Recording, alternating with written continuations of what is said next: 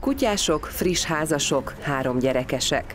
Nevek helyett jellemzések szerepelnek a festett postaládákon. A hatalmas falfestmény a volt újságos bódé hátsó oldalán látható a Szűrcsapó utcában. Az alkotást a lakóközösség ihlette. Mindenki tud vele azonosulni, mert én is nagyon sokra magunkra, ismer, magunkra ismerhetünk, de a kedves néni a szomszédban, nekem is van egy kedves néni a szomszédomban, akivel nagyon jó barátságban is vagyunk, de a környéken lakókról is vannak véleményeink. A kedvencem a minden évben a cseresznyét.